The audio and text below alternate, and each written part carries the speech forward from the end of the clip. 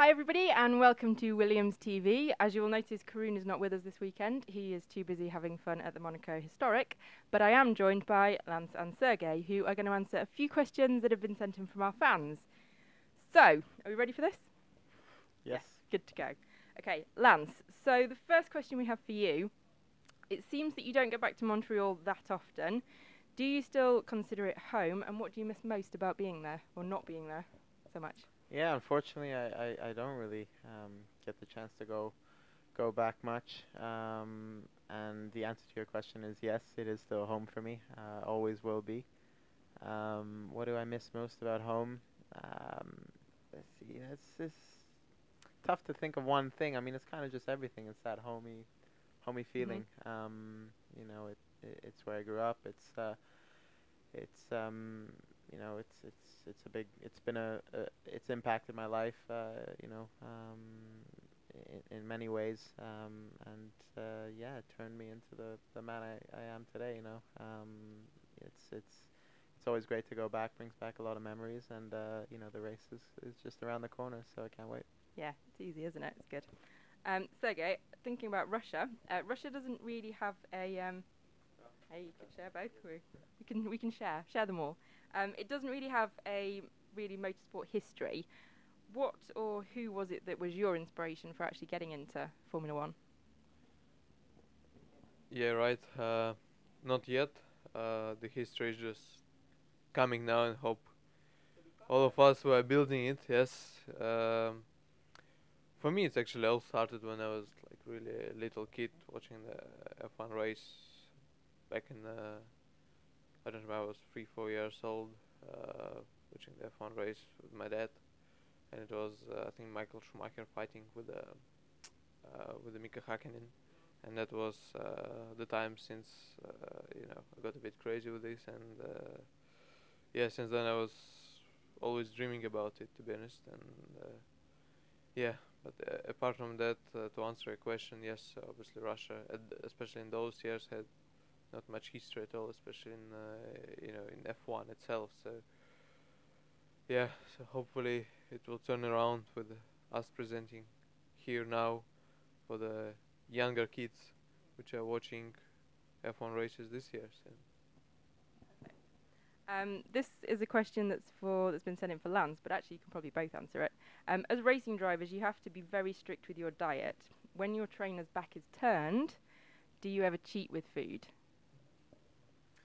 Um, that's a good question. Uh, you can be honest. Yeah, no, always.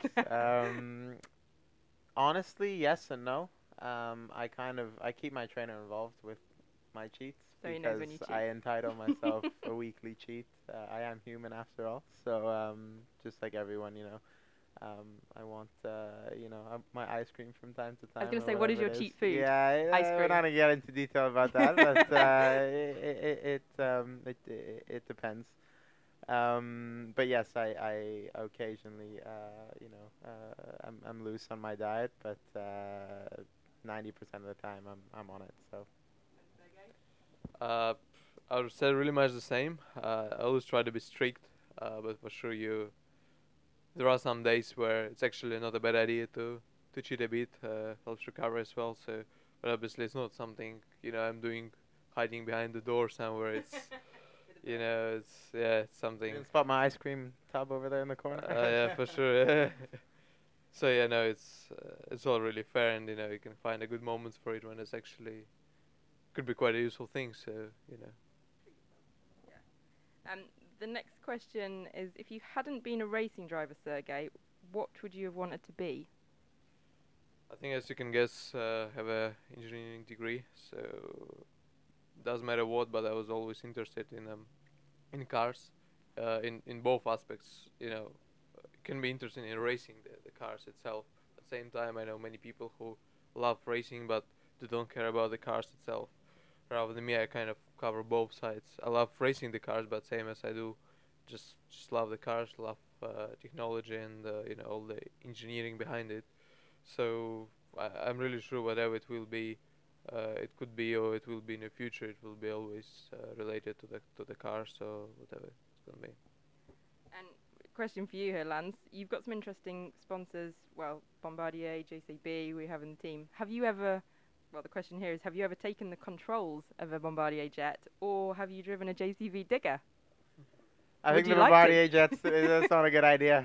Um, uh, I would actually, yeah, I was, I was quite interested to take flying lessons. Um, you know, when I, when I was younger, but then Formula One kind of took up most of my time. so you time. didn't do the flying in the no, end. but but I have plenty of time uh, to get that done. Um, JCB uh, machine. No, I've never um, taken tr- control of a digger. Um, You'd like to, but I'm- maybe? I'm, down to dig some holes one of these days. Yeah, yeah, Sergey, you not? up for that as could well? be fun.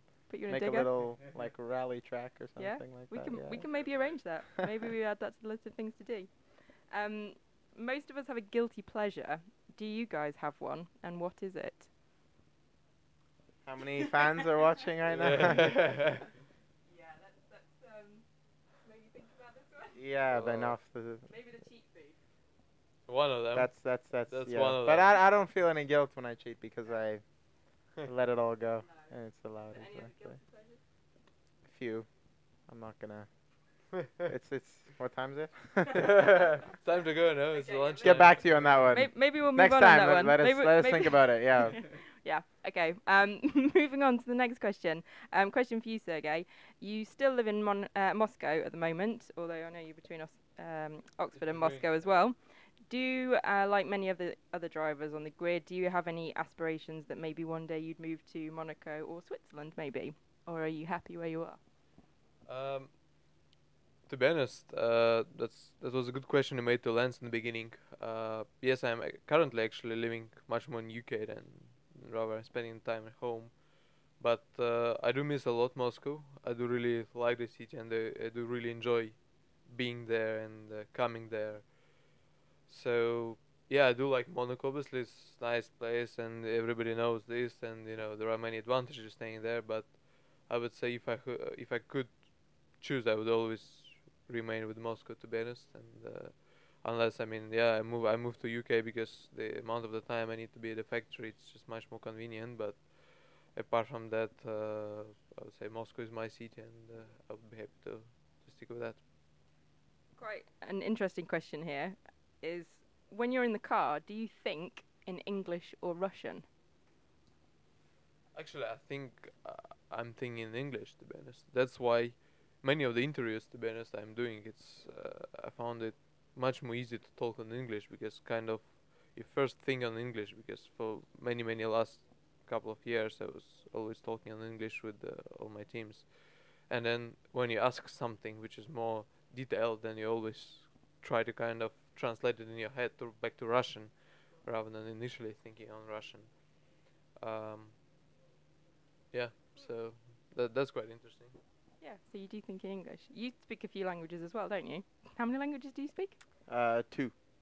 French, Okay. English, a little bit of Italian, but I'm not gonna say I'm fluent. okay, we may test you that one day in an interview. Um, final question then. Obviously, just we are here in Spain. Um, it's the race this afternoon.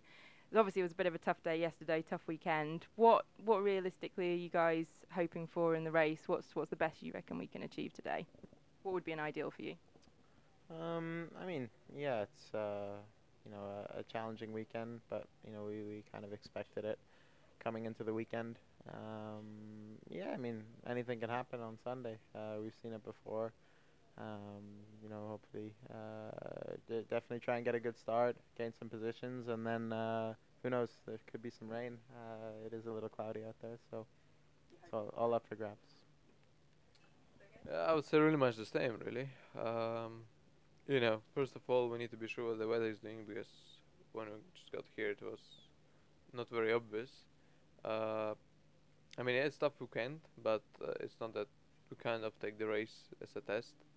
Uh, we're still looking ahead. We're looking racy, and uh, you know, as many things can happen. So, yeah, uh, let's make it going. And uh, for sure, the points are quite far away, and I wouldn't you know, I wouldn't say it's very very easy or very very possible, but you know, it's long race, so whatever the weather is doing, and many things can happen. So we never give up. Give up.